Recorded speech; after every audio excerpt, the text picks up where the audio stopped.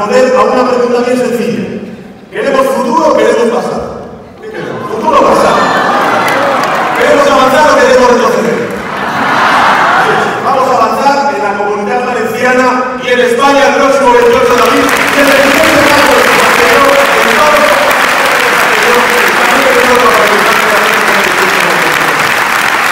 los tres principales desafíos que España se llaman desigualdad, se llama corrupción y se llama confrontación territorial.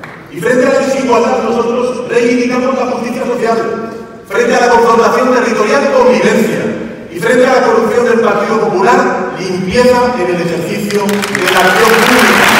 Con 84 diputados en 10 meses y con la mesa del Congreso en contra, con el Partido Popular y Ciudadanos en su mayoría. Por eso, amigos y amigas, yo os digo, oye, si esto lo hemos logrado con 84 diputados, ¿os imagináis lo que podemos lograr? No con los 84, una amplia mayoría parlamentaria a partir del próximo 28 de abril. Su único proyecto político es frenar al Partido Socialista.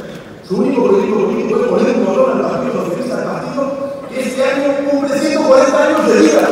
Es el único partido que puede lograr frenar esta derecha y hacer que España avance, que mire al futuro, que no retroceda 40 años, es el Partido Socialista. Por eso, hay que decirle a todo el mundo, no solamente a los socialistas de corazón que siempre habéis estado con nosotros, votando al Partido Socialista en las épocas malas y en las épocas buenas.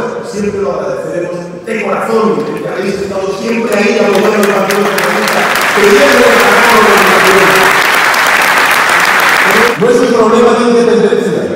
El problema en Cataluña es un problema de convivencia. Y la convivencia se resuelve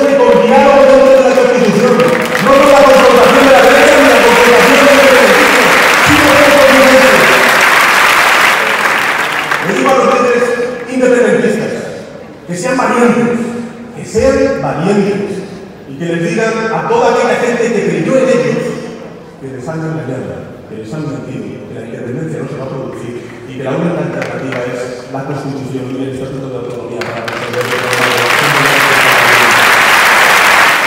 En este año cumplimos 140 años de historia, vamos a darnos una alegría, vamos a darle una alegría a España y vamos a ganar las elecciones generales, participar en la